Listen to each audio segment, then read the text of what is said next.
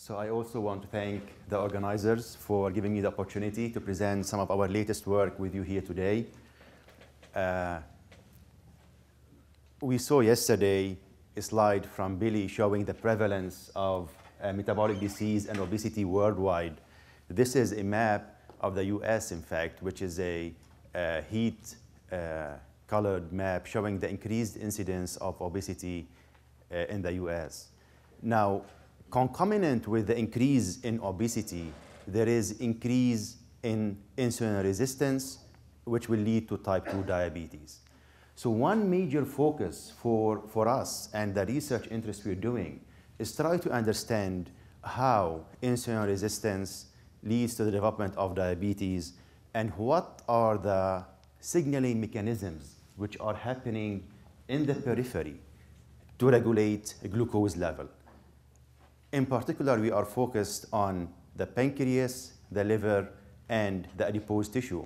But for this presentation today, I'm going to focus only on our work in the adipose tissue. Uh, one major aspect for signaling in these different tissues and how they communicate with each other is a process of tyrosine phosphorylation. Uh, so we really try to get the details of alterations in signaling with a particular focus on alterations in tyrosine phosphorylation and dephosphorylation, and how aberrations in these pathways will lead to the development and the pathogenesis of, of diabetes and other metabolic diseases. Uh, tyrosine phosphorylation is very neat for regulation of signaling. As we all know, it is key because it is at least partly reversible. So it's really under the control of two key players of family members, the protein tyrosine kinases, which act to phosphorylate the, the target protein. And for most part, this will lead to the activation of the protein. On the other hand, the proteins which we work on, which are the protein tyrosine phosphatases, which will work to dephosphorylate the target protein and for most part will lead to the inactivation of the protein.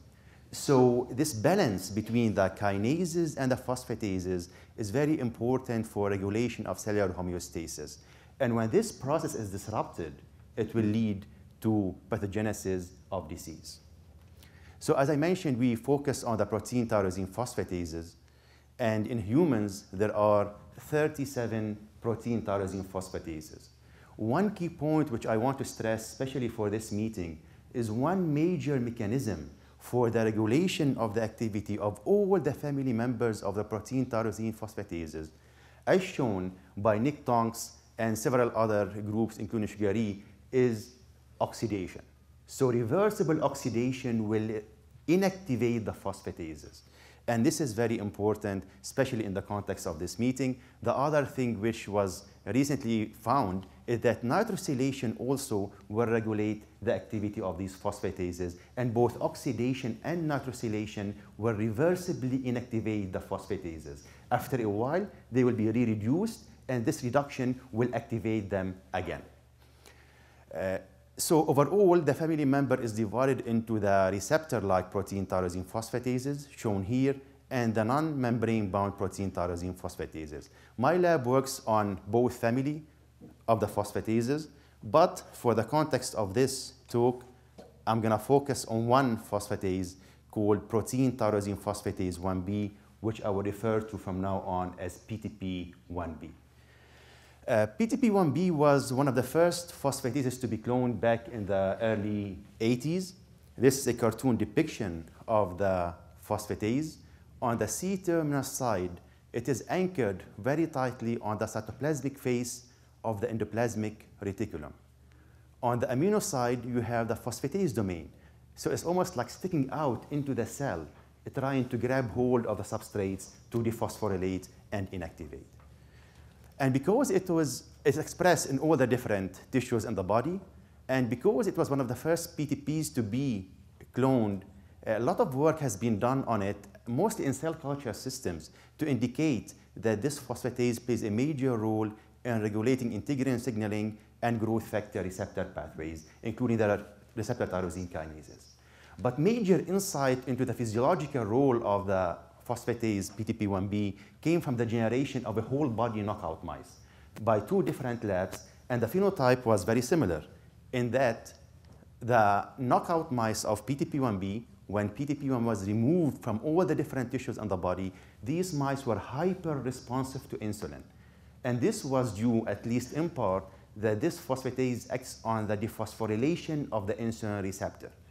So this was very interesting. The other interesting observation was that the whole body knockout mice of PTP1B were lean and were resistant to high-fat diet-induced obesity, at least in part because this phosphatase regulates JAK2 kinase downstream of the leptin receptor signaling pathway. Uh, in addition to all of these effects, there was no obvious side effects of the deletion of PTP1B. And I'm not showing you here as well, there are inhibitors of PTP1B which are tested in mice and in monkeys. And both of these show that the, either the deletion of PTP1B or its inhibition will be good potentially for improving the insulin response and for treating obesity. So along these lines, one major factor for us going forward is try to understand where are the sites, what are the tissues which mediate PTP1B action, and what is the mechanism underlying its action. So to that end, we wanted to figure out what are the additional targets of PTP1B in addition to the insulin receptor and JAK2, because I really believe there are other targets which are mediating the actions of PTP1B. So what we did, we took the PTP1B knockout mice, we isolated the fat cells from these mice. So this way we have no endogenous phosphatase. And back into the knockout cells, we reintroduced the human form of the phosphatase. So now we have isogenic cells where the only difference between the two cell types is only the expression of the phosphatase.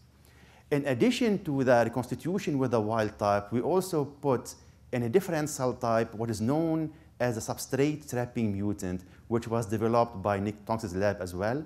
And this is important because the action of the phosphatase on its targets is very quick. So we are not able to capture that using regular approaches. So what Nick's lab developed is a mutant, and as the name implies, this mutant will physically trap its substrates and prevents them from being dephosphorylated. And this allows investigators in the field to figure out what are the physiological targets of the PTPs, including, in this case, PTP1B. Long story short, this work is published already. I will not really go into detail, but we have the cell line system, and these fat cells are able to differentiate and become real fat cells in culture. And this allowed us to go forward and try to use these cells to figure out what are the targets of the phosphatase in the adipose tissue. So along these lines, I'm showing you here data from the substrate trapping experiment. So what we did is we took the substrate trapping mutant cell lines, which were differentiated now. So now they are adipocytes. These were left starved overnight with no, stimulation at all, or they were insulin stimulated for 10 and 30 minutes. What we did then is we pulled down the phosphatase and looked for the proteins which are hyperphosphorylated with the idea being that if a substrate of PTP1B, it should be protected from dephosphorylation, and it should be hyperphosphorylated in the gel. And indeed, when there's no insulin stimulation, you don't see much phosphorylation of the different proteins. However, after insulin stimulation and the substrate trapping mutant, two different bands of hyperphosphorylated proteins appearing at about 68 and 150 kilodaltons were observed, suggesting that these are potential substrates of the phosphatase in the fat. So what we did, we did a Coomassie blue staining, and we subjected these uh, bands to mass spec, and I was hoping that we will find, you know, four or five different targets, makes my, our life easier. However, it's not really so simple, and in fact, we ended up having 30 or 40 different potential targets. So the question is, where do we start? It's always reassuring that we found already published substrates of PTP1B. So it was give us assurance that our data is in line and we can potentially identify different substrates as well. Uh, we found a number of different potential substrate families.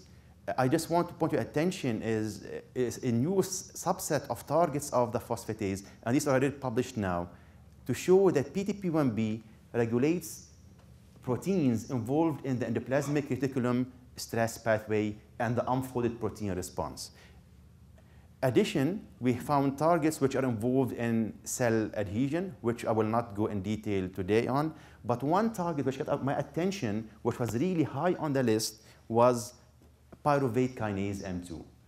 And for me, it was interesting because I know from the work of Lou Cantley and a few other investigators, it is a protein which is being targeted for glucose metabolism. So I was not clear if it is expressed in the fat or, or not. So what we did, but before that, just give you introduction on PKM2. Uh, PKM2 is one of the four isoforms of the mammalian uh, family.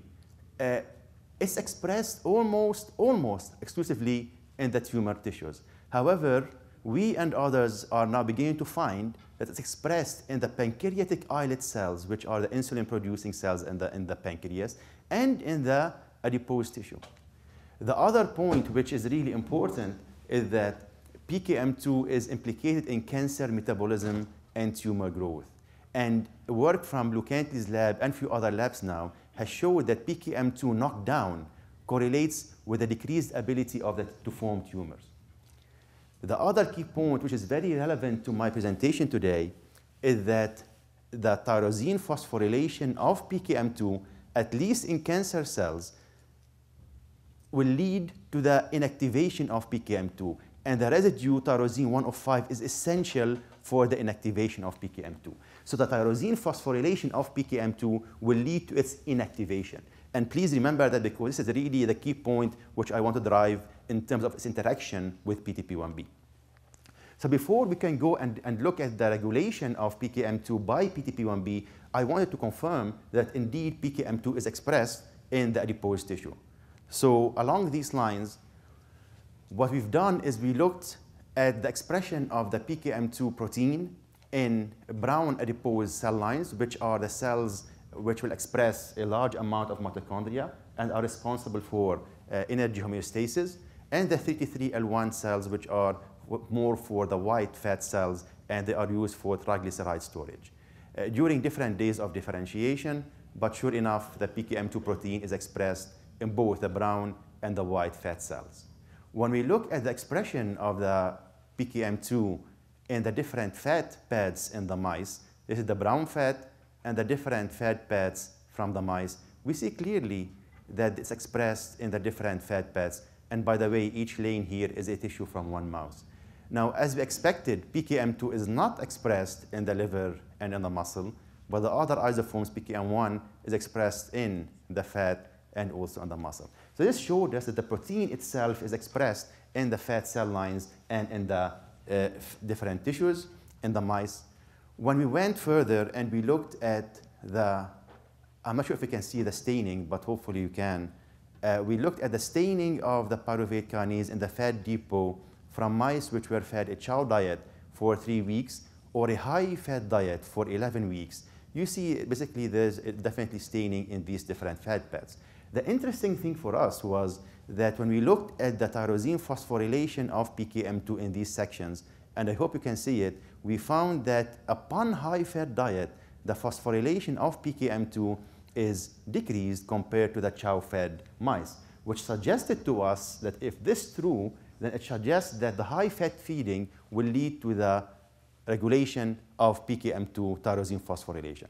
But as we all know, immunofluorescence is sometimes tricky, so we went ahead and looked at this further in biochemical studies. So I'm showing you here data on the tyrosine phosphorylation of PKM2, and we did this in many different fat pads. I'm just showing you here two examples from the visceral fat and the subcutaneous fat. And these are from mice which we fed a chow diet or a high-fat diet for three weeks, 11 weeks, or seven weeks here. And then we looked at the expression level of PKM2 and PKM1 over time. Now, as you can see here, there's no major change in the expression level of the protein, both PKM2 or PKM1. But what's really striking, and we have observed this in every single fat pad we looked at, is that under chow-fed conditions, where the metabolic phenotype of the mice, where the mice are healthy, tyrosine phosphorylation of PKM2 at 105 is increased. Then as soon as we begin to put the mice on a high-fat diet, and the metabolic status of the mice begins to deteriorate, the tyrosine phosphorylation of PKM2 begins to drop and to decrease. And uh, again, we saw this in so many different fat pads, and this was consistent throughout. This was very interesting, but basically we said, you know, these are mice. Will this translate to other systems? Will it translate to primates? So one thing in Davis is we have the monkey colony. So what we have looked at is to see if these findings translate to monkeys as well, and not only in mice and rats. And the answer is yes. So we have monkeys who were fed regular diet, then split into two groups. One were fed high fructose diet, which is not metabolically healthy for the monkeys, and they developed insulin resistance. And the other group was fed fructose diet plus fish oil, which was metabolically good for the monkeys, and the insulin resistance was less severe. And then we looked at the phosphorylation level of PKM2 in the fat pads from these monkeys, from the subcutaneous fat pad. And you see here when the metabolic status is good, there is regular phosphorylation of PKM2. When there's insulin resistance, the phosphorylation will go down, as shown here. And in the monkeys who are fed fish oil plus fructose, the phosphorylation is not down as much as the fructose-fed monkeys. So this was, gave us more confidence in the data, and it translates to uh, primates. What about humans? So we had uh, some studies done in the CTSC at Davis as well. We had people who were fed, and these were human subjects who were overweight or obese subjects, and they were fed fructose or glucose for different time points. And then we took the subcutaneous fat from the human subjects and looked at phosphorylation of PKM2 as well in these subjects. And again, it's clear that when you have the fructose feeding, metabolic status goes bad, you have decreased phosphorylation of PKM2, but in the case of fructose, but not in the case of glucose. So this told us that PKM2 is expressed in the adipose tissue, and its tyrosine phosphorylation and presumably activation is regulated in rodents, uh, monkeys, and humans. So now we can go further and look at the mechanism of regulation of PKM2 by, by PTP1B. So if our hypothesis is correct, and PKM2 is indeed a substrate of PTP1B, we expect the following. We expect that in cells, at least PKM2 and PTP1B should co-localize in the cells. We also expect that the PKM2 should be trapped by the mutant of PTP1B, which traps its substrates. And third, we expect that the tyrosine phosphorylation of PKM2 will increase if PTP1B is decreased. And the answer to all of these basically is yes, because otherwise I won't be showing you the data. But briefly here, I'm showing you the co-localization of PTP1B and PKM2 in two different cell types. You see here in green the expression of PTP1B, and it's nicely in the ER of the cell, as we expect. This is endogenous PKM2, and here is the merge between the two, and we see some areas of co-localization. So at least they co-localize in the cells. It does not really mean much, but at least it means that they are in the right location to potentially interact. Now, going forward, we want to see if we can see physical association and trapping of the pyruvate kinase by the mutant of PTP1B. And the answer is yes. Just to briefly take you through this uh, gel, uh, what we have done here is we immunoprecipitated PTP1B and looked for the associated PKM2 in the fat cells where we have knocked down PKM2 in all of these cells. We used lentivirus to knock down PKM2, and then we expressed either the wild type phosphatase or the mutant substrate trapping phosphatase. And then we expressed PKM2 wild type uh, or any phosphatase uh, mimetic of, of the mutant of the PKM2. And we look for association. So when there's no PTP1B or PKM2, you don't see association as you expect. With the wild type phosphatase and the wild type PKM2, we cannot detect association because as I told you, it's a very fast process, so we cannot really detect it. However, in the substrate trapping form of PTP1B, when it's co-expressed with PKM2, with insulin stimulation, we see very nice association.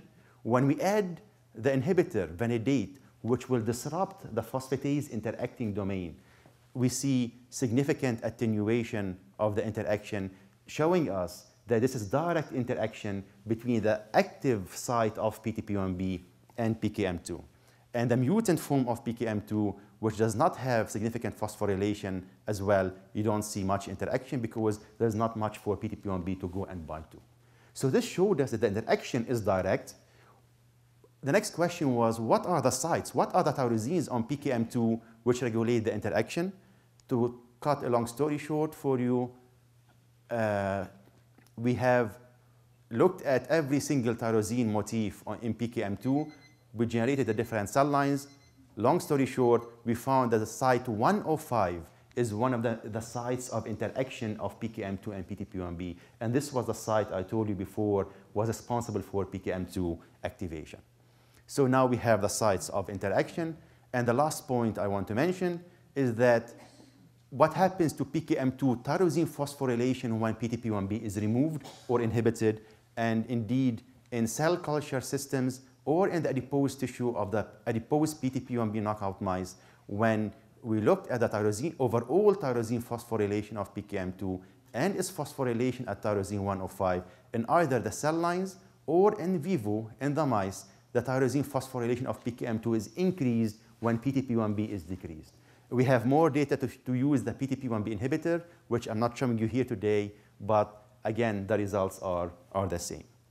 And finally, the conclusions from this presentation is that PKM2 is a novel PTP1B substrate, and PTP1B deficiency or pharmacological inhibition will increase PKM2 tyrosine phosphorylation.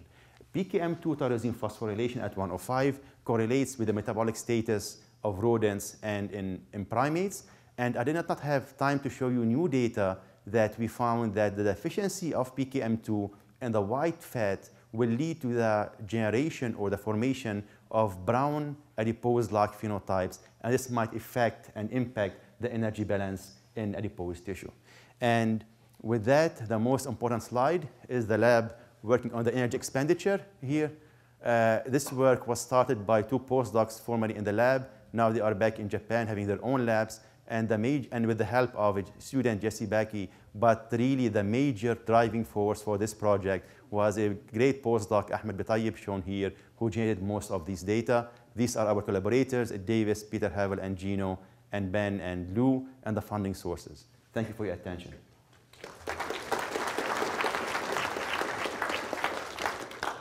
Thank you very much. It's open for questions. Georgie. Uh, we have been working for many years on cysteine, uh, thioredoxin, thioredoxin uh, target, particularly TXNIP or TBP2 is directly involved in the regulation of such an energy metabolism, and there is a publication around this aspect.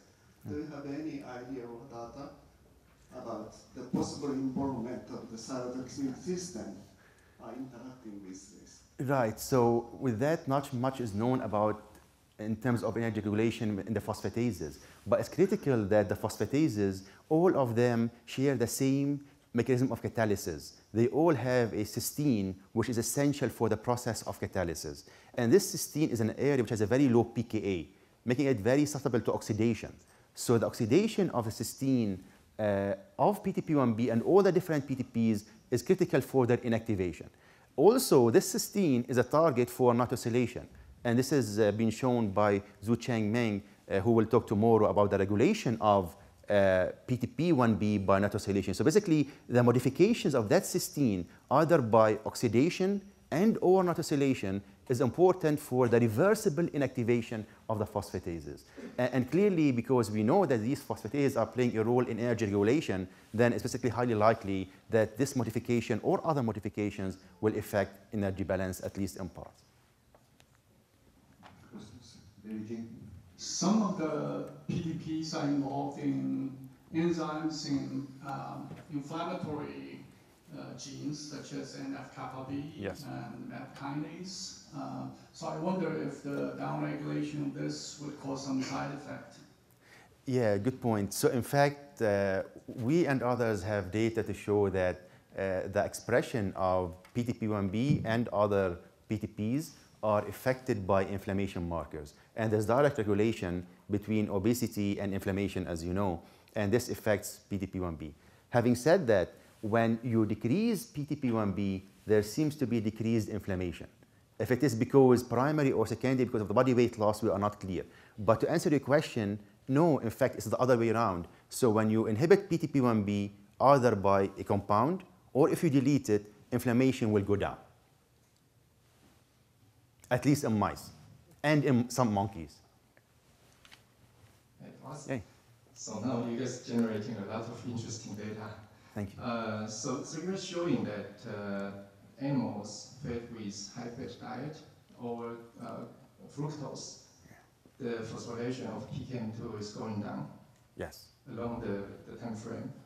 Do you think that uh, PTP1B is more activated or the expression level is getting higher Yes. in the course of the, the feeding? Yes, good point, TC. And in fact, this was one of the questions from the reviewers for the paper. Uh, so I didn't have a time to show you the data, but to answer that question, in fact, we looked at the expression of PTP1B in the same time frame, and of course, and it, sure enough, we saw increased expression of PTP1B when the mice were fed a high-fat diet or a high fructose diet.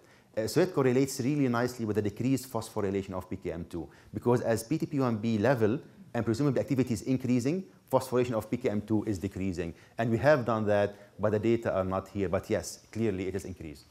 Yes. I have a question, Dr. Haj. A, Yes.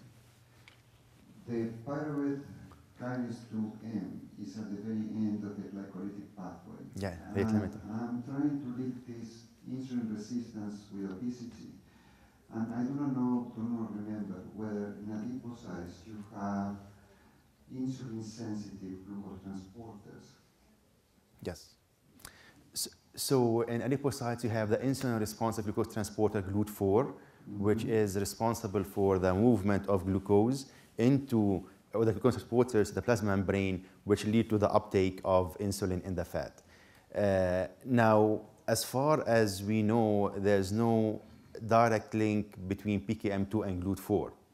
But having said that, in the same screen which we have done, we have looked, I told you we had different substrates of PTP1B. So I'm not saying that PKM2 or the insulin receptor are the only targets. We think there are other targets in the fat which regulate PTP1B action. One of them is a protein involving exocytosis of the GLUT4 vesicles and their fusion to the plasma membrane. And this is called MUNC, M-U-N-C, MUNC18C. And this is important for the fusion of the GLUT4 membranes uh, GLUT4 vesicles to the plasma membrane in the fat for the uptake of glucose. So we think during that process, PTP1B might be able to increase the fusion of the GLUT4 vesicles and allow more glucose to go in in the fat tissue.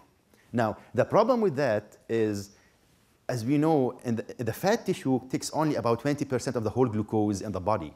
And I didn't show you the data that in the body knockouts of PTP1B, there's a significant decrease in the glucose uptake uh, increase in the glucose uptake in the fat and the muscle. So it has to be that PTP1B is also acting in the muscle. So it's acting both in the muscle and the fat together with other tissues to regulate the energy uh, and the insulin response. The translocation of GLUT4 to the plasma membrane also dependent on AKT, which in the case of insulin resistance does not working? That means that your problem is much upstream of the pyruvate kinase 2M. Uh, yes, so in fact, glu- GLUT4 translocation, there is AKT dependence and there is also AKT independent pathway uh, of the GLUT4 translocation. Yes, Okay,